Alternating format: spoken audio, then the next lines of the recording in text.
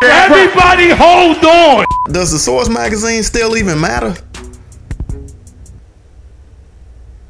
I ain't ask you for your opinion, but that is my perspective. Subscribe to the Joe Blacula YouTube channel. Fucking bars, nigga.